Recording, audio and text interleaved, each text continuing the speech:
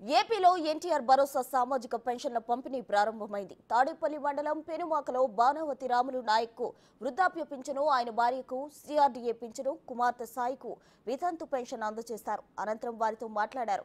పిల్లలను బాగా చదివించాలని చెప్పారు. తమకు ఓ ఇల్లు కావాలని సీఎంను కోరారు పాముల నాయక్. చెప్పాను కదా. మా నాన్న ఒకడే సార్ ఎవరు చెప్పి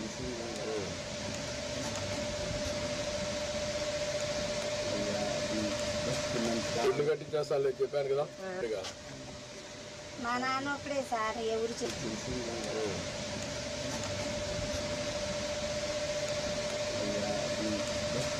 ఇల్లు కట్టించేస్తాను చెప్పాను కదా. పెనుమాకలో ఎన్టీఆర్ భరోసా పెన్షన్ పంపిణీ కార్యక్రమంలో చంద్రబాబు మాట్లాడుతున్నారు. ఇప్పుడు అలా చూద్దాం.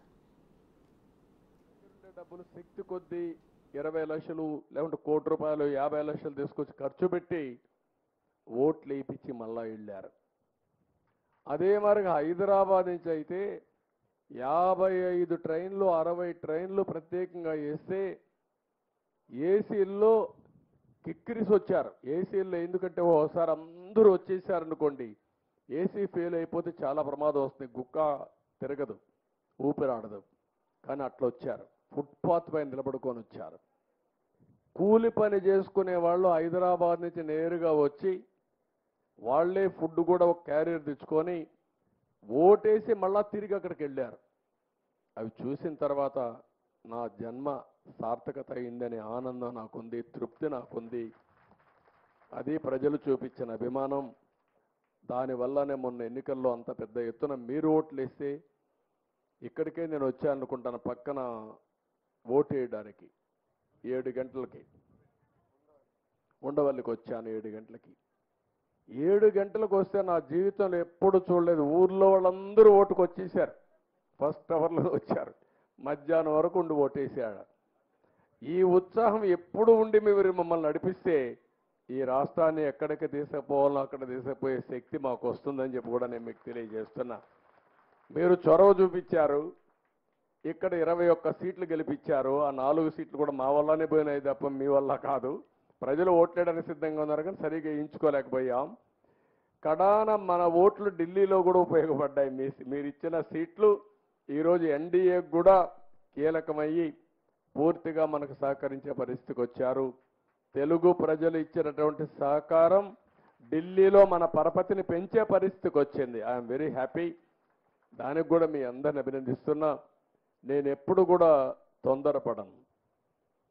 మీరిచ్చిన గౌరవాన్ని మీకోసం ఉపయోగించడం తప్ప నా స్వార్థం కోసం కాదు. ఎప్పుడు నేను ఆ పని చేయను. మీరెప్పుడు కూడా ఇదే ఉత్సాహంతో ఊరూరు ఆలోచించాలి. కులం కాదు మతం కాదు ప్రాంతం కాదు బంధుత్వం కాదు. సమర్థవంతమైన పాలన ప్రజాపాలన. మీకు సేవకులుగా ఉండే వ్యక్తులు మీరు ఆలోచించాలి. సమర్థవంతంగా పనిచేసే వ్యక్తులు మీరు ఆలోచించాలి. నేను అడుగుతున్న ఎప్పుడన్నా ఐదేళ్ళు ఈ మారిగా ఫ్రీగా కూర్చొని ఎప్పుడన్నా ఎక్కడన్నా మాట్లాడింది మీరు చూసారా పేపర్లో టీవీల్లో? చూసారా మరి ఏంటి? కాదు ఐదేళ్ళలో ఒక్క రోజు కూడా ఇలాంటి పనులు చేయలేకపోయారంటే మనం ఆలోచించుకోవాలి కదా సంథింగ్ రాంగ్ కదా. కాదు కాదు మీరు చూడడం కాదు మీరు చూడడానికి ఉండాలి కదా. ఎక్కడ ఎక్కడన్నా ఉంటే నువ్వు పోయానో చూసి వస్తావు రాకపోయినా. ఆ కమ్మోళ్ళు కూడా పనిచేయడం అక్కడ?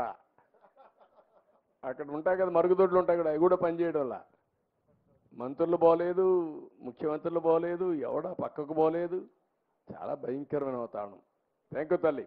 నీ అబ్జర్వేషన్ థ్యాంక్ యూ మళ్ళా ఇప్పటి నుంచి నేను అప్పటికప్పుడు బాధ్యత మీకు రెఫర్ చేస్తూ ఉంటా.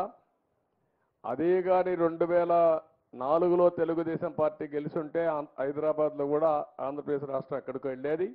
రెండు వేల పంతొమ్మిదిలో మళ్ళా గెలుచుంటే ఎక్కడికో తీసుకుపోయేవాళ్ళం. ఇప్పటికి గ్యాప్ వచ్చేది కాదు. ఆ గ్యాప్ వచ్చింది. పర్వాలేదు. కనీసం నేను అనుకున్నా ఈసారి ఓటేయకపోతే ఈ రాష్ట్రం ఏమైపోతుందని బాధపడ్డా తపన పడ్డా నా కోసరం కాదు.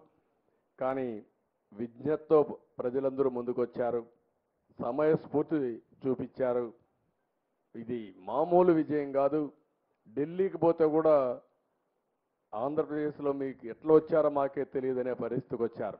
దానికి మనస్ఫూర్తిగా మీ అందరినీ ఐదు కోట్ల ప్రజల్ని మనస్ఫూర్తిగా అభినందిస్తున్నా ధన్యవాదాలు తెలియజేసుకుంటున్నా కృతజ్ఞతలు తెలియజేసుకోండి. ఎప్పుడు కూడా సర్వదా మీకు కృతజ్ఞుడిగా ఉంటా. మైక్ మైక్ ఒకసారి విజయవాడ? ఓకే ఈరోజు గ్రామసభ పెనుమాకే కన్ఫైన్ చేశారు. చెప్పమ్మా. సార్ నమస్కారం సార్. లోకేష్ అన్నకు నమస్కారం. లోకేష్ అన్న.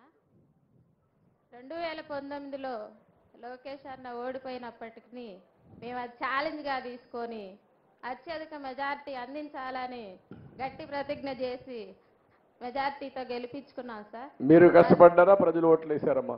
ప్రజలు ఓట్లు వేశారు మేము కష్టపడ్డాం సార్. రెండున్నా సరే.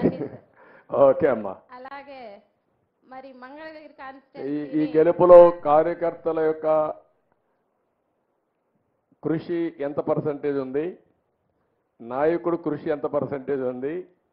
మీ ప్రజల అభిమానం ఎంతవరకు ఉంది? ప్రజాదరణ ఉంది సార్. మా కష్టం